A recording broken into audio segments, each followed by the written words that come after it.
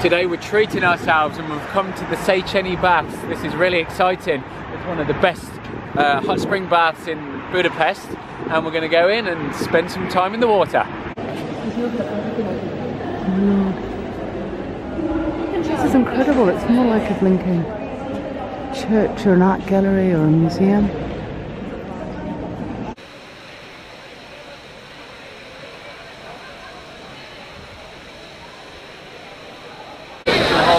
This is great. Can't think of a better way to spend a cloudy afternoon in Budapest.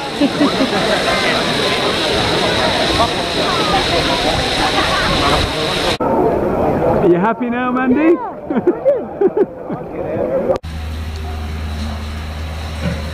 Ten minutes in there at 100 degrees, but I'm cooked.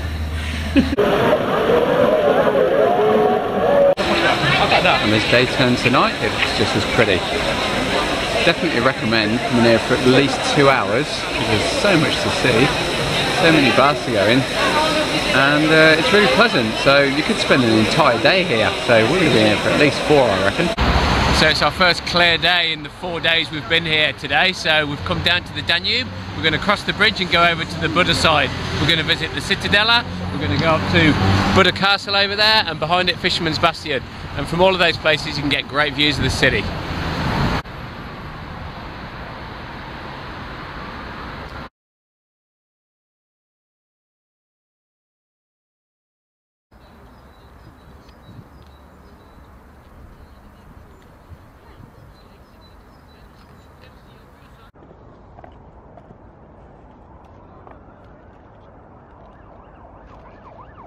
Top of the Citadella, admiring the wonderful scenery. Think it's a nice day for it.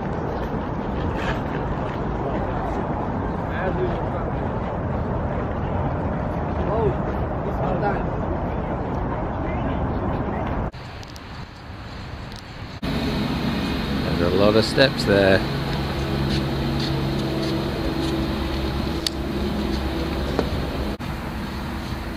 Enjoying the walk up the steps, Mandy? Dear Lord, there's a lot of steps. I think this can be like the Mandy Ewok series. Paul and our Budapest. You're nice and warm, that's the main thing. So Worth it for the scenery. Check that out. You know, Buda Castle, looking over the Danube at Parliament. Finally, I understand what everyone raves about. Yeah. Just paste that, and these walls are five meters thick.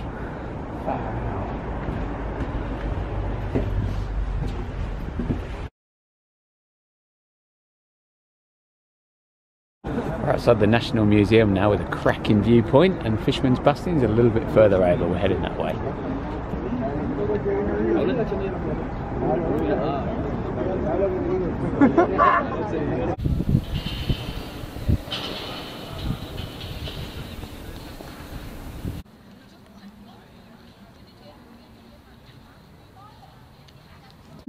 It's bitterly cold.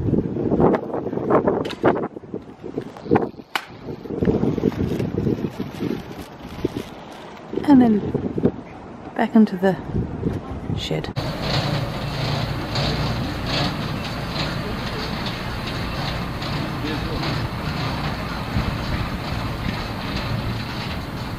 It's beautiful. Fisherman, Fisherman's Bastion is amazing. Far more people here today than there were the other day when we came up and it was pouring with rain. As you can see, there's a statue of, oh no, was it St. Stephen? Oh, I don't King know. Stephen? Dude and the horse. Yeah. Looks good. yeah. And the views from around by the turrets there are very impressive. And those amazing roof tiles up on St. Matthias. Yep. How much is it to go in there? I know, About did you say it was- eight or nine dollars or something like that. So unfortunately we won't be joining the others. St. Matthias Church up at Fisherman's Bastion. Absolutely beautiful. And up on Fisherman's Bastion, the views are just as spectacular. You can see why everybody comes over here for this.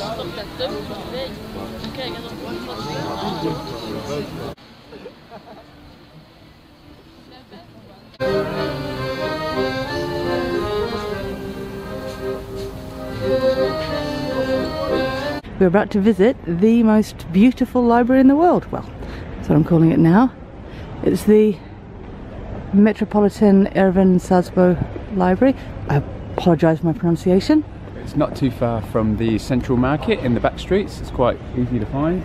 And by the look of the door, it looks fantastic. We haven't seen inside yet, but I think it's just going to be this beautiful grand mansion. Wow, already downstairs. I mean, look at this for an entry.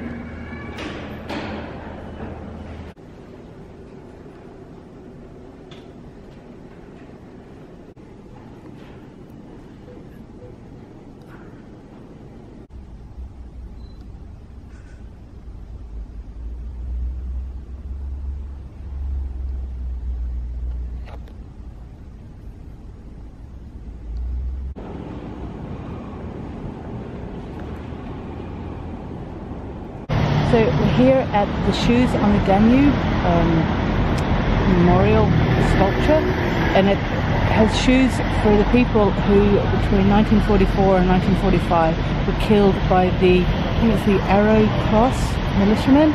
The majority of the people killed were Jewish.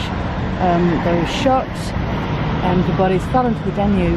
But they were told to take their valuable shoes off beforehand, leave them behind while their bodies fell, fell into the river and were washed away.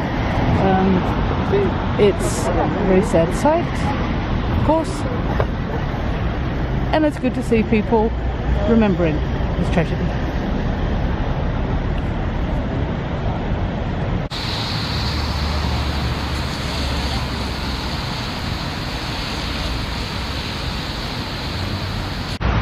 This is the incredible Parliament building, uh, neo-Gothic, built in 1904, and it's quite atmospheric with the uh, with the cloud and the mist at the moment.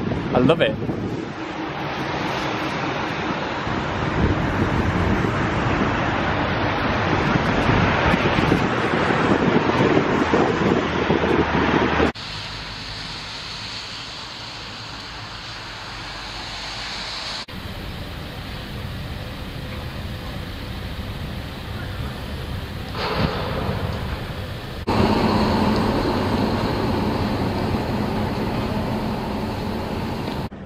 So just down the street from Karavan is Szimpla Bar.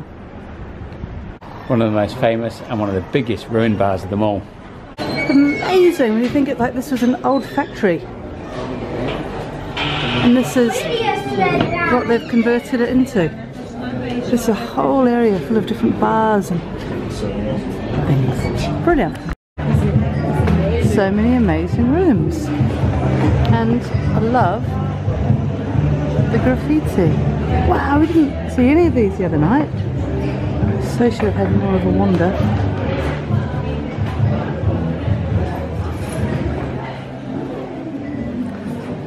Lovely artwork.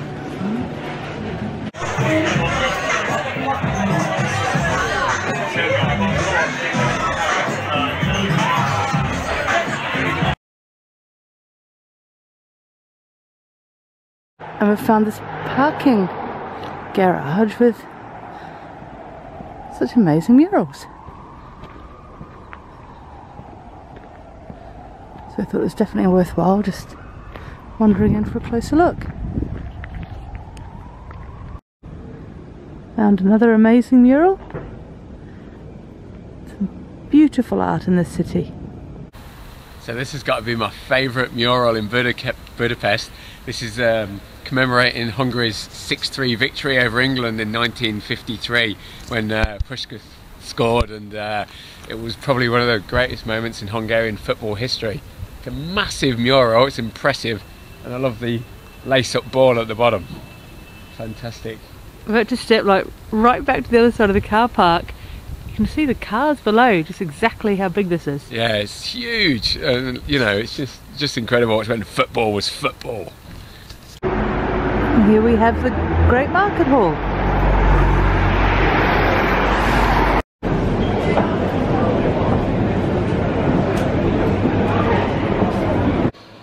Wow, Grand Market Hall. Love it. This is Hungary, the ultimate sausage fest. Look at that lot.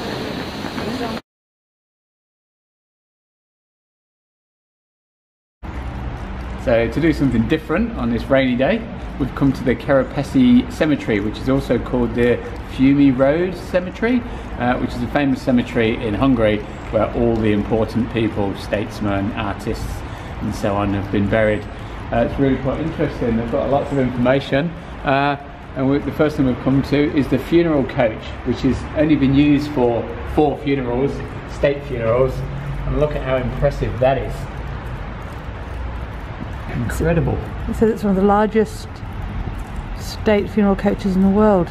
It actually disappeared for two decades after World War II and resurfaced far from Budapest.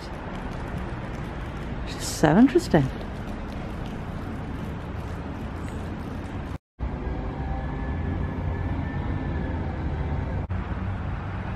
And we found the Soviet memorials. Sculptures that abstract I don't know 1950s for the people. This is being oppressed by a workers being oppressed by a man in a hat with a saber.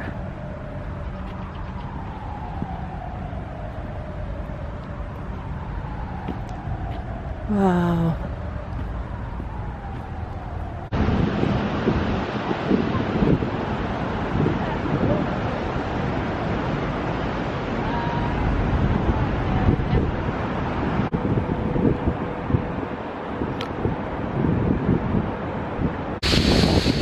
The weather's took turn for the worst, so it's time to head home.